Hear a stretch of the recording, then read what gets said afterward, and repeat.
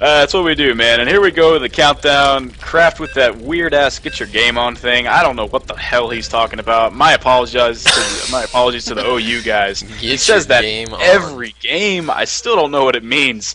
Uh, he isn't trolling you. He's actually thinking he's saying good luck, have fun. Uh, but whatever. You know, some people are just I don't know how to describe them, and I cannot control N in this one, so I do apologize right away. But we will do our best to remind you who's who. You want to do the uh, intros, or shall I? I'll tell you what. I'll take OU. You take TU. How's that Alright, sound? TU uh, spawning in the bottom left position. We have the purple Zerg Carb, and spawning in the top left position, the green Protoss Croft or Craft, as we will probably refer to him in this game.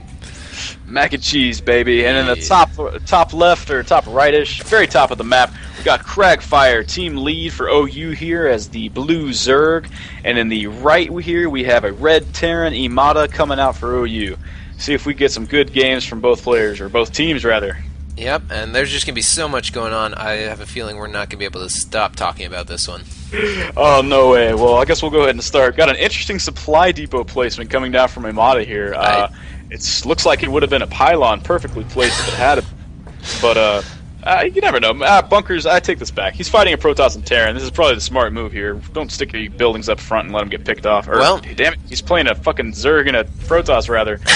But Jeez, uh, there, there, there goes his barracks right up front, uh, where you said not to put it. So um, that strategy quickly getting shut down. Well, I'm an idiot. He's fighting a Zerg. He's doing the smart thing here. Oh, we've got a two Rex coming out from emata here. Uh, I think we're going to see some early game plans here. We've got the uh, extractor trick coming out of Cragfire here. Or not extractor trick. Yeah, no. Extractor trick in the spawning pool coming out. We're going to see some early aggression. Uh, high, high Marine count, high Zergling count coming out of uh, Team for OU this game. Uh, really, really interested to see how TU responds to this. I hope they have scouted and they know it's coming their Yep, way. There's that uh, drone sitting down there in the uh, Terran's base, and he should be able to see. Yeah, he does see both those Rexes going down. They're gonna know that's coming right away.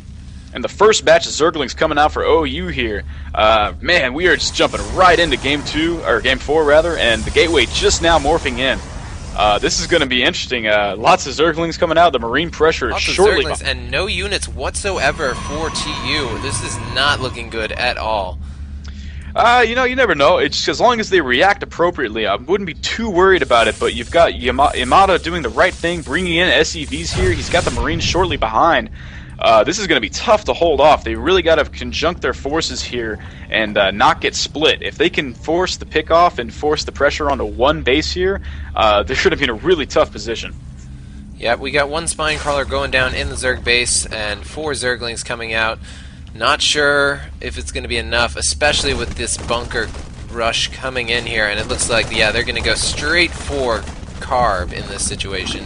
Especially, I mean, he can't wall, so definitely going to be effective. And Carb trying to work his way around to get that SCV, but loses a lot of lings in the process. Yeah, you know, I would have just held back. The bunker can't get too close because of the creep. Wait for that spine crawler to finish. Hold back. Wait for your support. Uh, you know, that's mainly what these bunkers are going to do is going to cut their line in And half. Kraft here. has to watch out here. He's got his one zealot in there, but he might uh, lose that if he's not careful. A lot of. Zerglings, few Marines. You know, Protoss desperately trying to get warp gates in. He's got the gateways coming in. He knows Zerg is going to be in trouble Zerg here. just throwing his Zerglings and Queen out there. Uh, and takes out the SCV. Oh, loses the Queen. Unfortunate. But an endless wave of Zerglings and Marines coming in. They are going for this early pressure. They want to end it. Can TU respond appropriately? Uh, targeting firing that pylon. If that goes down, it is not looking good. Switching pressure from Zerg to Protoss. Uh, man, gets the pylon. This is not good. This is insane early pressure. not good at all. Kraft is supply blocked. Only going to be able to get out that one zealot. Trying to chrono boost out whatever he can.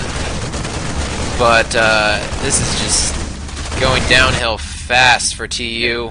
Really needed to see Kraft pull off all the probes there. You know, you got to fight together. That is the key of 2v2. You cannot let your armies get split like this.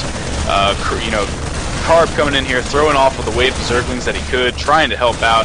Banelings morphing in, that could turn the tide here. They're all all, all light armored units, but Kraft just getting demolished. I mean, we've only got two Banelings coming in. I don't know if it's going to be enough for now, but still, the damage has definitely been done at this point.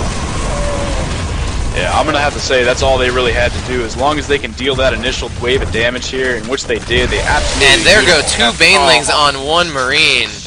No, that was not what needed to happen scenario. there. Miss Micro. Finally getting his gateways repowered, only to have it be taken right back out. Uh, like you said, the damage has been dealt. The Zergling Marine Death Wave will not stop. Um, I think they've got this sewn up quite nicely. Uh, back home, sitting with a pretty worker count, adding on more And racks, the no Banelings able to get no off gas. some nice hits, but still, I don't think it's going to be enough. Hey, you know, it ain't over till it's over, but uh, I'm, it's not looking good. Sometimes it may be over before it actually is over, though. there comes the supply block for um, Carb.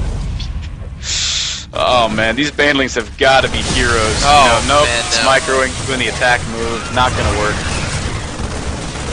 Gonna and the stream does not stop. If you look at the mini-map, you see the blue and red just coming right across the middle there, rallied right in between the two bases. A Not even worrying for Protoss. A valiant attempt here to try and hang in there, but this one's over. It's just too much. You know, I thought they might have scouted it. I thought they might have seen it, but they just did not react in time.